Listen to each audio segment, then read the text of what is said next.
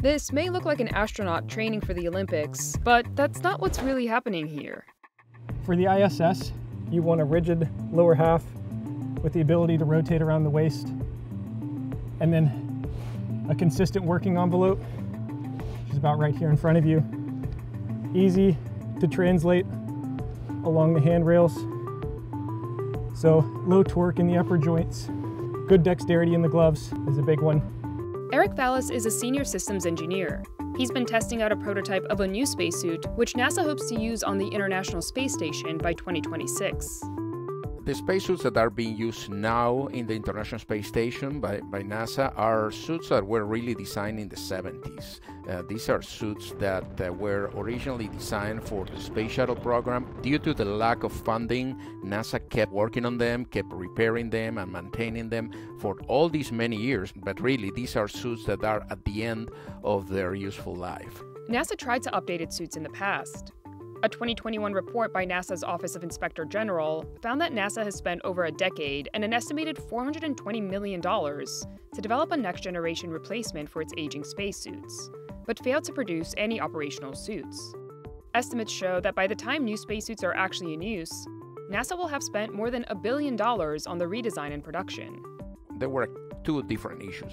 One was lack of funding. NASA eh, had to get funds, you know, from sometimes from other projects to, to fund their suit. And the second problem was that there was no destination. The projects of NASA have been moving through different political agendas during the last few years, and something that you need in any scientific and technological organization is a purpose and a timeline. NASA is now going another route, contracting with commercial companies to make and maintain its new suits. So without further ado, I'm very happy to announce that the awardees will be Axiom Space and Collins Aerospace Industry Team. CNBC got a rare look inside Collins Aerospace's new 120,000 square foot manufacturing and testing facility, located at the Houston Spaceport in Texas, where the company showed us its new spacesuit.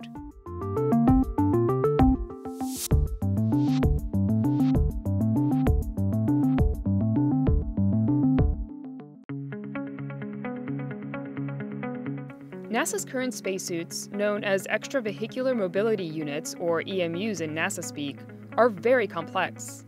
The current spacesuit has roughly 18,000 components uh, that make it up, and the interior volume of the suit is roughly equivalent to the size of a small refrigerator, about 5.5 cubic feet. There have been a number of safety concerns over the years due to the aging spacesuits. The final investigation is in following the near drowning in space of that Italian astronaut doing a spacewalk outside the International Space Station. His equipment failed him. In fact, they say it was his calm demeanor that probably saved his life after his helmet filled with water. In 2022, NASA temporarily suspended all spacewalks following another incident where an astronaut's helmet filled with water. We're starting to see some degradation of performance, some components that need to be replaced. So on space station, we're, we're really watching very, very closely the performance of the EMUs while they are still on orbit. In the meantime, these new suits for this particular failure of water in the helmet, the new designs are designed such that that failure mechanism cannot occur. Inventory issues are also a problem. In 2019, NASA was forced to cancel what would have been the first all female spacewalk on the International Space Station because the agency did not have the proper spacesuit sizes available for both female astronauts. In the beginning of human space exploration, the spacesuits were custom made. With the beginning of the Space Shuttle program, there was this idea of abandoning the custom size uh, system and going to small, medium, and large. That worked for a while, but as our astronaut corps is getting more and more diverse, the sizes don't work anymore. NASA's Office of Inspector General also noted that of the original 18 primary life support system units, only 11 remain in NASA's inventory to support the ISS program, with only four of these units actually on the ISS at any given time for astronauts to use during spacewalks these are suits that were originally designed not to be serviced in space, but to be serviced here on Earth, because they were dependent on the space shuttle. So now kind of she changed the objective because they have to keep them up there, and the astronauts are the only ones who can repair and maintain them. So the number is very, uh, very minimal. The Portable Life Support System, or PLSS, resembles a bulky backpack and is one of the two main components of the spacesuit, or EMU. The PLSS houses a variety of components that perform functions needed to keep an astronaut alive in space, including providing oxygen, maintaining body temperature, and removing carbon dioxide buildup from the spacesuit. The second major component is the Pressure Garment System, or PGS, which is the white garment that surrounds astronauts. Its main purpose is to maintain appropriate pressure around astronauts' bodies to keep them alive in the vacuum of space, as well as protect them from orbital debris. Underneath the PGS, astronauts don a liquid cooling and ventilation garment, through which cool water flows to help regulate their body temperature. The new suit designs follow a similar suit structure, but are modernized. There's just normal, what we call obsolescence issues. Certain parts we just can't get anymore. And so we are building a new suit so that we can start using new components, take advantage of all of the new technologies that are available to us now that just simply weren't available nearly 50 years ago. Under the Exploration Extravehicular Activity Services Contract, or XEVAS, NASA is providing Collins and Axiom, along with a number of their industry partners, with up to $3.5 billion through 2034. Axiom won the first $228.5 million contract to design the suits that will be used during NASA's Artemis moon missions, and Collins won the second $97.2 million contract to design and develop a new generation of suits for the International Space Station. In addition to making the spacesuits, Collins and Axiom will be tasked with providing maintenance and parts to keep the suits in working condition, as well as conducting training and operational support for NASA staff. The beauty of this contract is the functional requirements for these two suits are very, very close.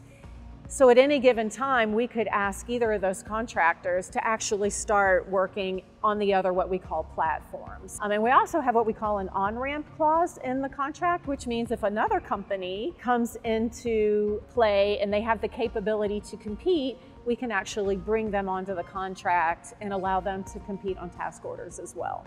Kearney says the continued competition helps incentivize the contractors to perform on cost and schedule, and ultimately helps keep the expense to the government down.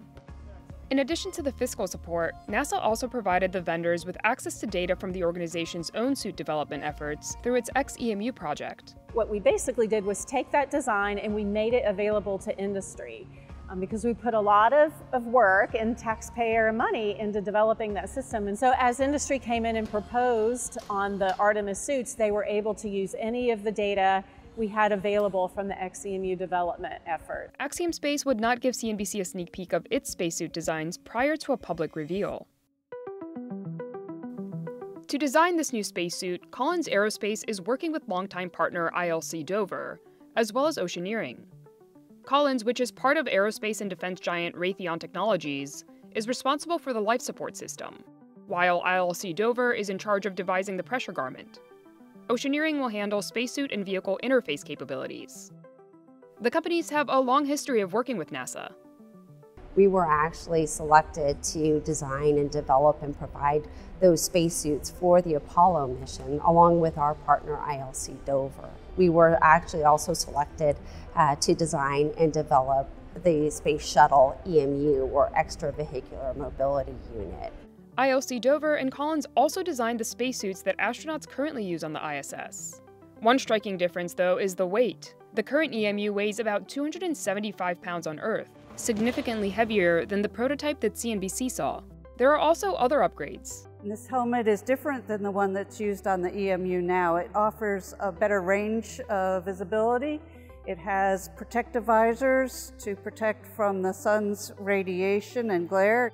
The upper torso is adjustable so it fits crew members better and can be adjusted while they're on orbit or doing a mission to help prevent shoulder injuries and to make their EVA more comfortable for them. The upper arm is also new to this architecture. It provides a better range of motion and a lower torque motion than the current EMU. Furl says that while the current EMU fits the 5th to 95th percentile of astronauts, this new suit is designed to fit the 1st to 99th percentile of astronauts using fewer parts. As a result, 30% less hardware needs to be launched into space, meaning lower launch costs and decreased crew training time. Another big improvement in this new generation of suits is their increased mobility and range of motion. Things like standing up, you really got to find the angles to rotate your body but it's definitely something that we couldn't do before in the EMU. Extended range of motion becomes particularly important for planetary exploration. Though Collins' contract with NASA calls for making spacesuits for the International Space Station, the company and its partners are designing the suit with future planetary missions, like trips to Mars and the Moon, in mind. For something like the Moon or Mars, definitely the less restriction you have in the lower body, the better. Being able to catch yourself if you start to fall is a, a big plus, especially with all the dust concerns. So good mobility, stabilization is important.